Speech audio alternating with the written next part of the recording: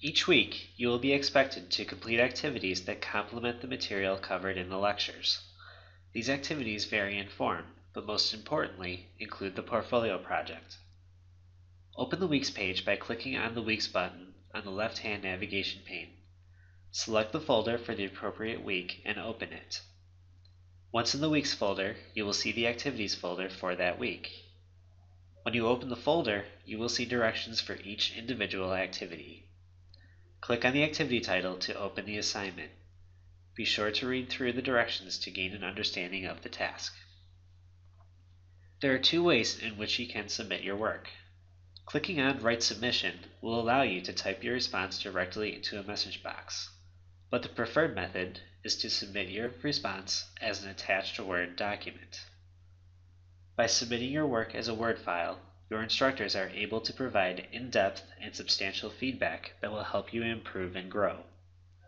To submit your attachment, click on Browse My Computer, locate the file, and select the document.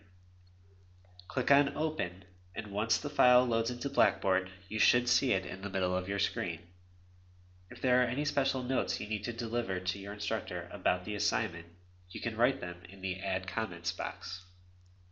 You then have the option to save the assignment as a draft in case you need to return to it at a later time before turning it in, or you can submit the assignment.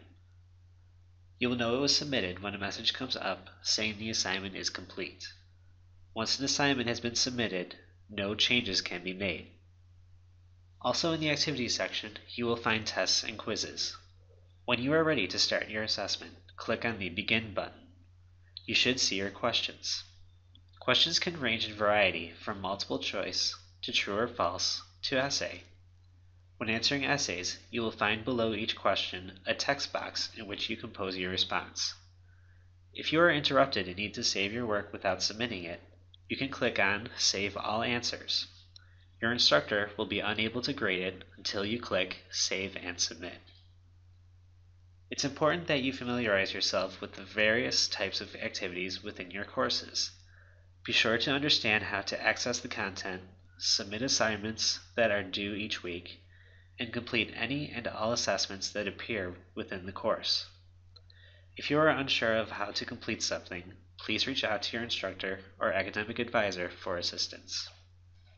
Take some time to explore the Activities feature by going into the Weeks button of this orientation and clicking on the activities.